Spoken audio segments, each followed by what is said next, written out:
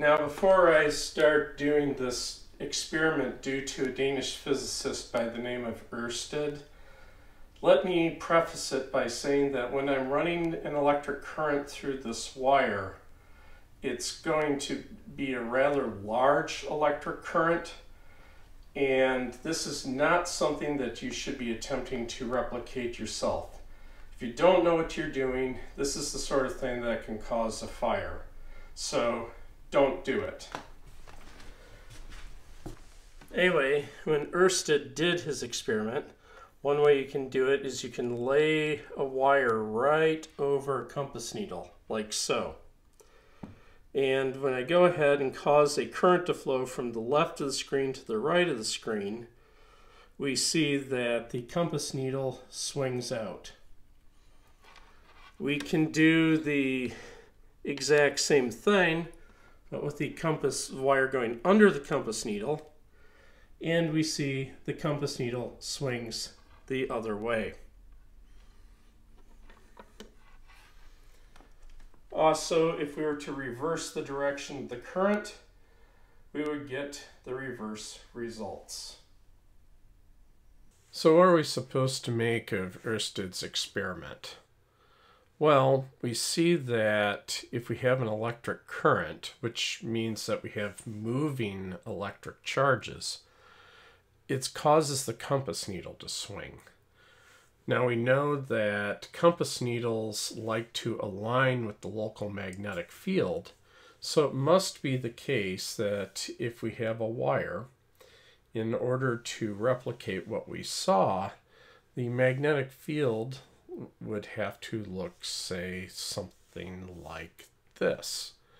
Um, if you play with this and do it for a while, you'll conclude that the magnetic field lines have to look like circles, concentric circles around the wire going all the way along the wire. And you'll notice I'm drawing in a little arrowhead. That's to give a sense of the direction of the magnetic field. Now, I am absolutely awful at being able to try to draw this sort of thing in 3D. Now you'll notice that we've got the conventional current going to the right. So if you were to take the thumb of your right hand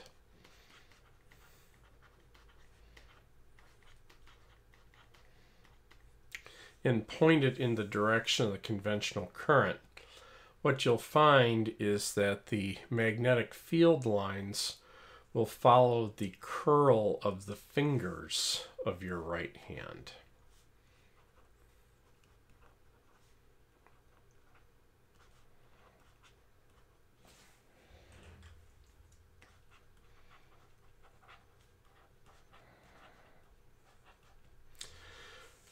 More to the point, they don't curl around in the opposite direction. So what we have is a whole bunch of circles um, following the curl of your right hand. Now, it's probably easier if we look end on at our wire. So let's say we have a current that is coming out of the page here. Remember, a point like this means that the tip of the arrow is flying at you.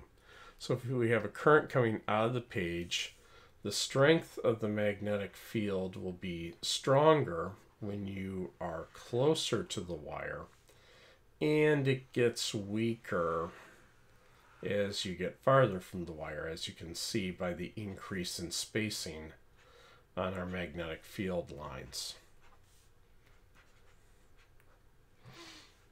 So again, remember the way we interpret the lines is, say if this is the point where we want to find the magnetic field vector, it'll point tangent to the lines in the neighborhood, and the strength will be proportional to the density of the lines. So if the lines are spaced closer together, this arrow would be longer. And again, this is following the curl of the fingers of your right hand. So if you point your thumb out of the screen, you'll see that your fingers of your right hand curl around counterclockwise. And if the current were going into the screen, we would again see the exact same concentric circles that are again spaced closer together the closer you are to the wire.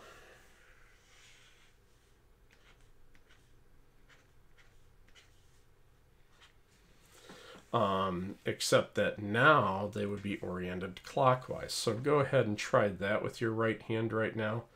Point your thumb in towards the screen, your right thumb in towards the screen. You should see the fingers of your right hand curl clockwise. So this is the sense of the magnetic field that we make. Also, by the way, because physicists usually don't like to draw in 3D, they don't usually draw an edge-on view of the wire like this. Instead, they're more apt to draw a purely cross-sectional view. So again, if I have my current flowing to the right like this, um, what a physicist is more apt to do is just draw a whole bunch of dots here.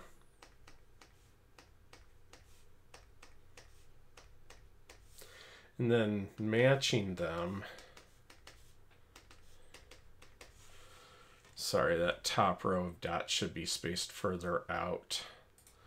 I see we're running out of space there, so I'll bring the next row in maybe.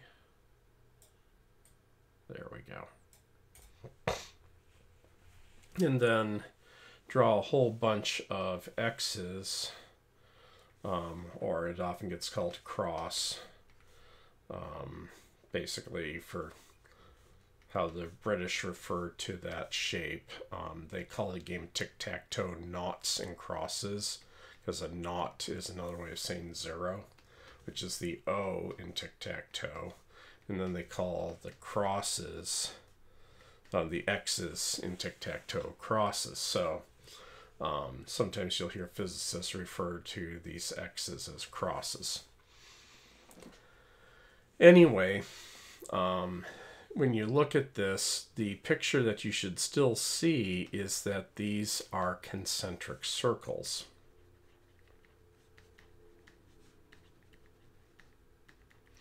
They're coming out of the screen at the top and into the screen at the bottom. So for instance, these two here are part of the same line.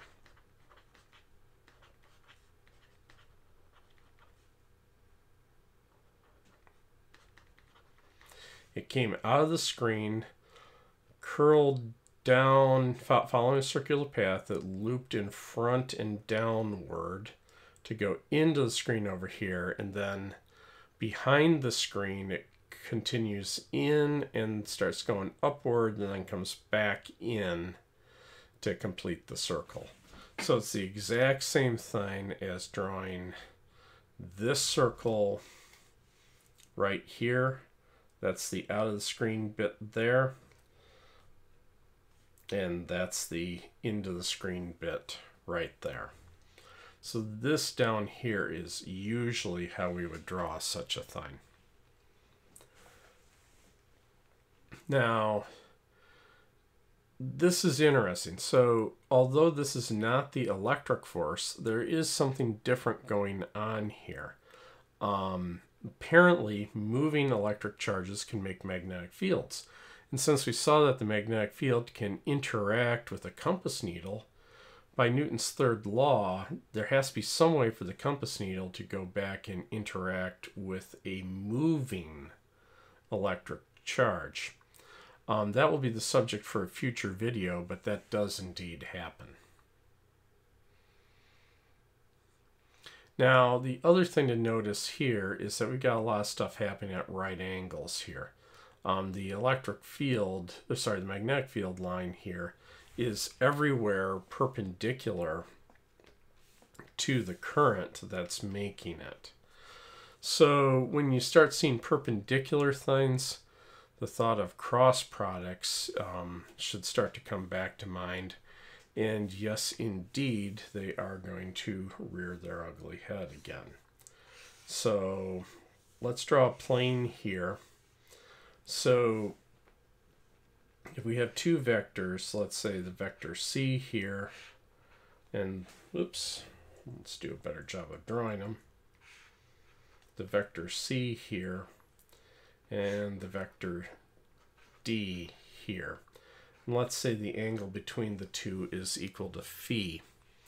Um, the cross the magnitude of c cross d will be equal to c times d times the sine of the angle between them, phi, if you put the two vectors together tail to tail. But remember, a cross product gives us a vector as a result. And so our resultant vector here, c cross d, points perpendicular to both of them. Now importantly, remember that the cross product does not commute. So d cross c points the exact same way upside down. The way that you figure out which way the resultant vector points is given by the right-hand rule, um, which I'm going to show you here. So let me preface this review of the right-hand rule by saying that there are probably about as many ways of doing the right-hand rule as there are people. So I'm going to show you the way that I do it. If you know of some other way that you like that gives the same answer, that's great. Go ahead and use that. So first thing to remember about uh, cross products is that the order of them matters. So C cross D will not give us the same thing as D cross C. It will be the same magnitude, but the direction will be opposite. So the way I get the directions is I make my right hand like this widget here. Now don't use your left hand. That will give you the exact wrong answer. You have to use your right hand to do this one. So the way I think of it is I go first things first, second things second, answer on the thumb. So you always put the first vector on the first finger, the second vector on the second finger, the answer goes out on your thumb. So let's take a look at C cross D here. So we can see that C is pointing to the right, D is pointing up. So I first things first, point my index finger along C, and then second thing second, align my middle finger to point along D to see that C cross D goes out of the floor. Now what if I was doing D cross C? If I was doing D cross C, again, it would be first things first. So D is the first thing, that goes on the first finger. C being the second thing in the cross product would be second thing second. So you still got to keep your finger index finger pointing along D, rotate your hand around your index finger until you line up with C, and my thumb is pointing into the floor. So C cross D goes into the floor. Now you might wonder, what if the angle between our vectors C and D is something other than 90 degrees? Well, that's okay. Let's make it bigger. So you're allowed to move your middle finger around like this if you want to get a perfect fit. Just don't hyperextend it. This is bad. But it, keep it between your index finger and the palm of your hand. You're fine. So I can still do first things first. And then here, to get the second thing second lined up, I would just have to move my middle finger a little more. And again, I get that C cross D is out of the floor. Or let's do it for an angle smaller than 90 degrees. Say something like that. So again, first things first, I put the first vector along my first finger. Second thing second, I line up D with my middle finger here. So you see I moved it in like this so I could match the angle. And again, the answer is still out of the, out of the floor.